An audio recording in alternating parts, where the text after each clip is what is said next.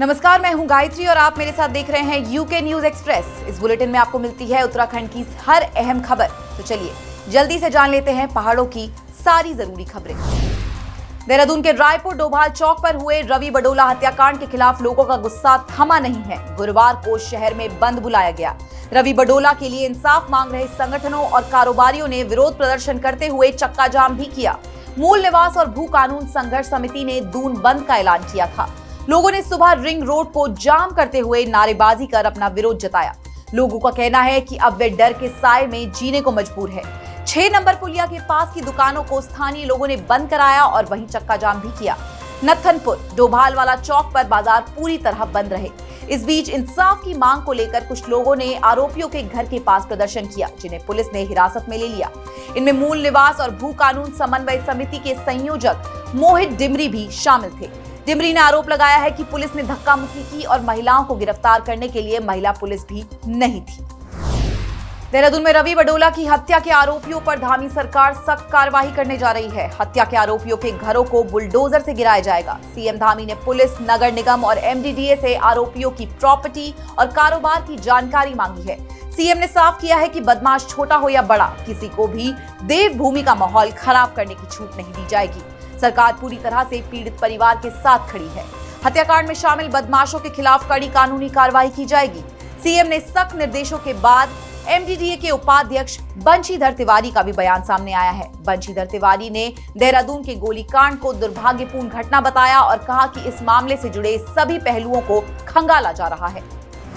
देहरादून के एक बार में वहाँ के कुछ बाउंसर्स ने कुछ युवकों को गुंडों की तरह पीटा, जिसका वीडियो सोशल मीडिया पर वायरल हो रहा है।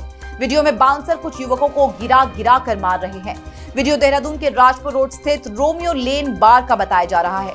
पुलिस के मुताबिक युवाओं की किसी बात को लेकर बाउंसर से मामूली कहासुनी हुई और फिर बाउंसरों ने उन्हें पीटना शुरू कर दिया।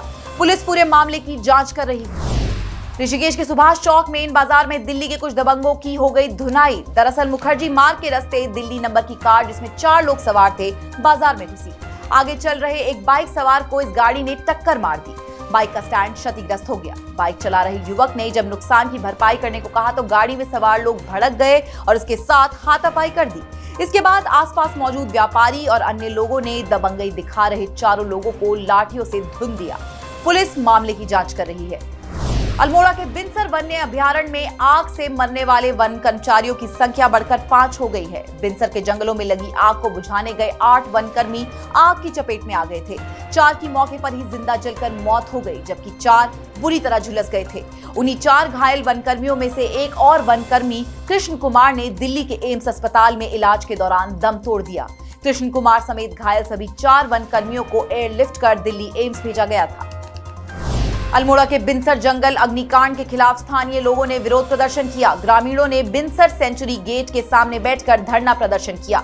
गाँव वाले हादसे में मारे गए वन कर्मचारियों के परिजनों को सरकारी नौकरी देने और मुआवजा राशि बढ़ाने की मांग कर रहे हैं। सीएम ने मारे गए वन कर्मियों के परिवार को 10-10 लाख रुपए की आर्थिक मदद का ऐलान किया था। ग्रामीणों के मुताबिक ये राशि कम है और कम से कम 50 लाख रुपए मिलने चाहिए।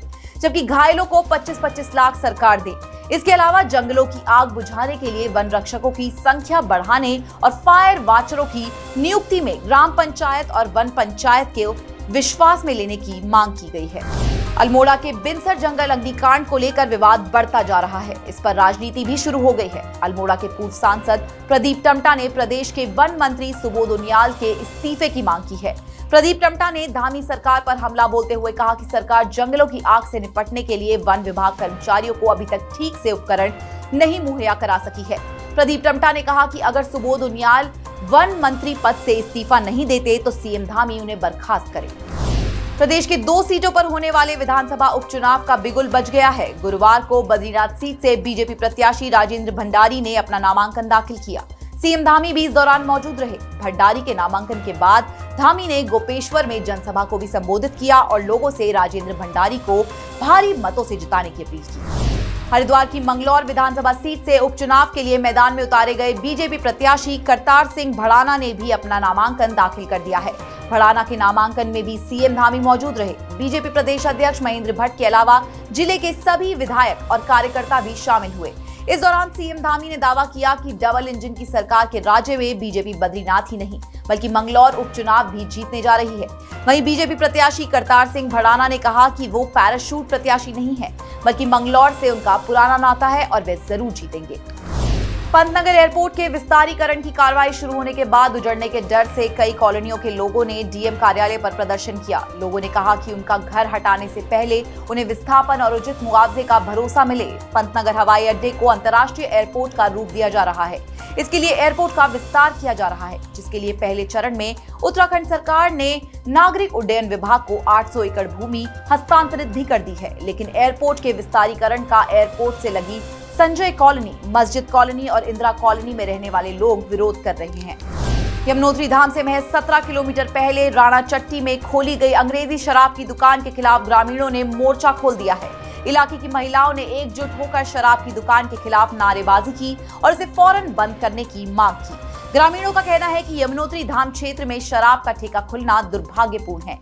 इससे यमुनोत्री धाम की निर्मलता, पावनता और पवित्रता को ठेस पहुँच रही है। पौड़ी श्रीनगर नेशनल हाईवे से लगे एक इलाके के लोग इन दिनों परेशानियों से जूझ रहे हैं। लोगों का आरोप है कि उनके वार्ड के पास डाला गया शहर का 14 मेट्रिक टन कूड़ा उनके लिए नासूर बन गया है, क्योंकि कूड़े के ढेर में हर रोज आग लगने से धुआँ उठ रहा है, जिसने इलाके के लोगों का सांस लेना तक दूभर कर दिया है। सबसे ज़्यादा दिक्कत बुज़ुर्गों और बच्चों को हो रही है। लोगों का कहना है कि कूड़ा डंपिंग जोन रिहायशी इलाके से दूर बनाया जाना चाहिए था।